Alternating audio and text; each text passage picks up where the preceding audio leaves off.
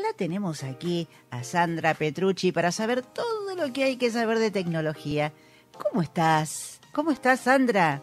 Hola Lili, ¿cómo estás? Muy buenas tardes. Muy bien, por suerte. Bueno, bienvenida, bienvenida a la, a la nueva temporada y ansiosos por saber este, qué nos vas a contar. Independientemente de que te haga la pregunta primero, ¿qué tal las vacaciones? ¿Descansaste? ¿Lindas?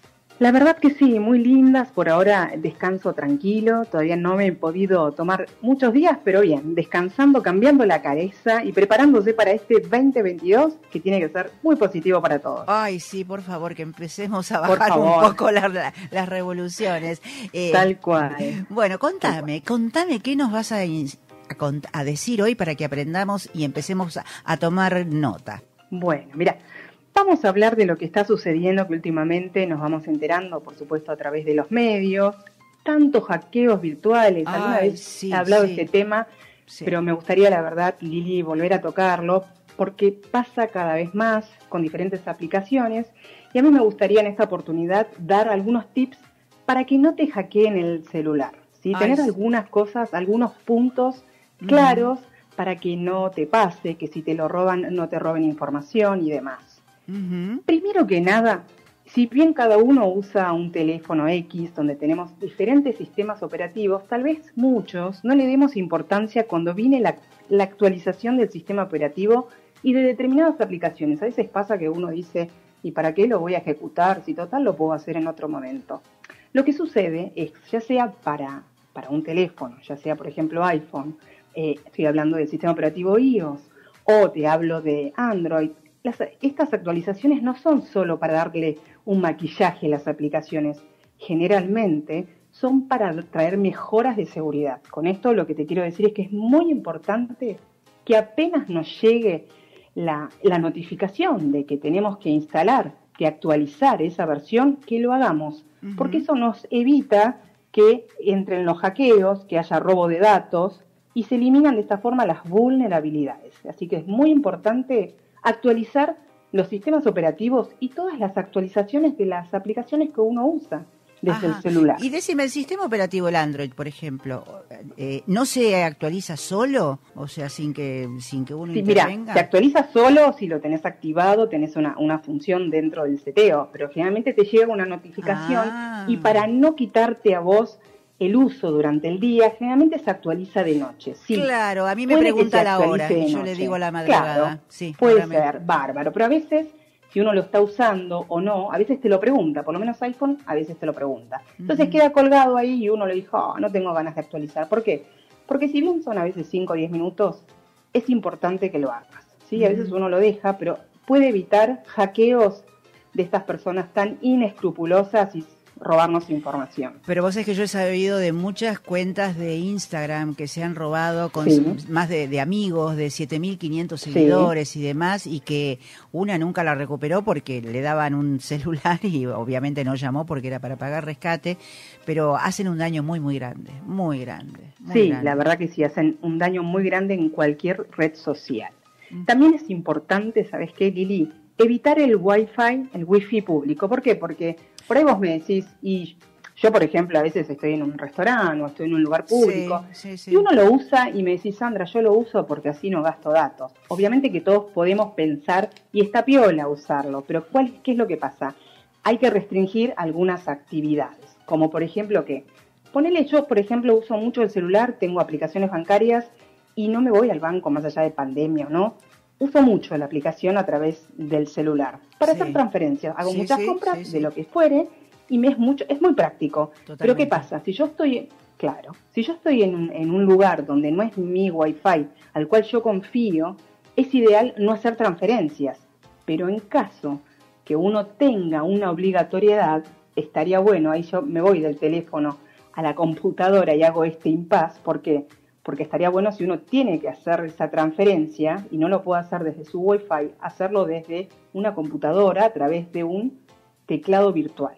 ¿Por qué digo esto? Para los oyentes, el teclado virtual lo que te evita es el robo del tecleado, ¿sí? porque hay un posicionamiento, cuando uno pulsa cada palabra, hay un software, que son los spyware, que te roban ese pulso que vos haces con cada tecla y así te roban el usuario y la contraseña, el PIN e ingresar a tu información financiera. Aún cuando lo hagas con tus datos, o sea, si yo lo saco del Wi-Fi, estoy en mi casa, eh, lo saco de, de Wi-Fi y lo pongo en datos, aún así el teclado no, es No, no, por eso, no, eh, eh, en tu casa no hay problema.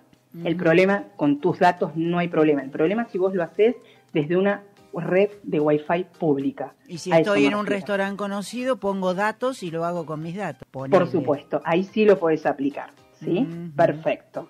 También es importante, seguramente vos, como yo, yo tengo un bloqueo del celular, ¿sí? Pero sabes que hay muchas personas que le da fiato a poner una contraseña. Eso es súper importante, poner una contraseña que sea una contraseña segura, que no sea ni tu número de DNI, ni que tenga que ver con tu fecha de nacimiento, de tu hijo, de un familiar, de lo que fuere. Ningún dato relacionado personal. La contraseña es ideal que sea alfanumérica, ¿sí? Que tenga letras, números, mayúsculas y minúsculas, que sea mucho más difícil para el acceso de una persona que te quiere hackear. ¿Por qué digo esto? Porque si vos me decís, me roban el celular, hay muchas personas como yo que tenemos mucha información en el celular personal o no, que uno dice, bueno, es seguro, pero hay que pensar que ese teléfono, si no está bloqueado, eh, pues se puede acceder a alguna contraseña que uno tal vez tenga guardada que no debería a veces tenerla en el mismo celular. Pero si uno maneja determinados grados de seguridad, puede que lo evite. También es muy importante usar la autentificación de dos factores. No sé si escuchaste hablar de sí, que, que un segundo control. Claro, dos cosas. Yo tengo la huella digital y otro más, por ejemplo. Perfecto. Esto la mayoría de las aplicaciones lo usa. Por ejemplo, en un mail, vos entras con un usuario, una contraseña y además, si está activado, ¿qué pasa? Muchos no tenemos activada esa opción. Entonces vos me decís, Sancho, uso el mail y nunca me lo pide. Claro, pasa que hay que ir a la configuración de esa aplicación, activar el 2FA, que se llama así. ¿Para qué? Para cuando vos ingreses usuario y contraseña, que eso sí lo puedes tener anotado en algún lado y te roban el celular y ingresan, pero no tienen tu código este 12FA. ¿Por qué? Porque este código te llega a través de un SMS, que es lo que le pasó a Moldaski. ¿sí? Le llegó apurado, él no miró de dónde venía, tanto entusiasmado que pasó esto esta semana, Cierto, sí, llegaba la oportunidad de, de, vacunarse con la tercera dosis, no miró el contexto del, del código, le pasó el código y lo que hizo, ¿qué hace? Habilita cambiar tu contraseña. De, por ejemplo, de Google, de un mail que estoy hablando, o de X aplicación. Vos con ese código de seis dígitos habilitas a modificar la contraseña y a vos te inhabilita. Y esa persona, ya sea una cuenta bancaria que te ingrese o a tu mail, perdiste vos el control de esas aplicaciones. Por eso es muy importante en, estas, en todas las aplicaciones. En la mayoría está ese segundo código de autentificación, que es usuario contraseña como siempre y además te va a mandar un SMS que a vos te va a, te va a llegar al celular y vos lo tenés que tipear antes de ingresar a los datos de esa aplicación. Para eso tenés que tener activada la opción de segundo código de autentificación. Perfecto, sí, sí, muy bien. Fíjate que en mi caso, por ejemplo, yo cuando entro, este, me manda un mail o, me manda algo que aparece en la pantalla del celular, que lo tengo que tener al lado, dice, ¿es usted el que está entrando de titular, sí o no? Claro, yo le pongo sí, por supuesto, por supuesto, por supuesto, por supuesto también.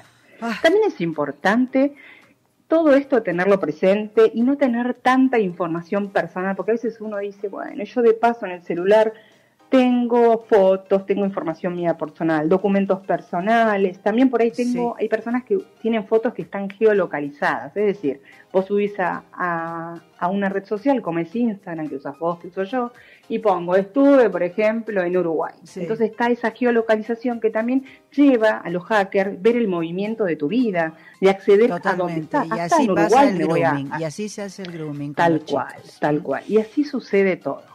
Eh, Sandra, yo te agradezco un montón porque realmente con estos tips a ponerse a trabajar en la configuración del mail y en todas las aplicaciones para el tema de contraseñas y doble Me parece factor. Fantástico. Bueno, Sandrita, gracias y nos encontramos en la próxima. A vos, un placer, por supuesto. Un beso grande. Chao, Buenas tardes. Chau, chau.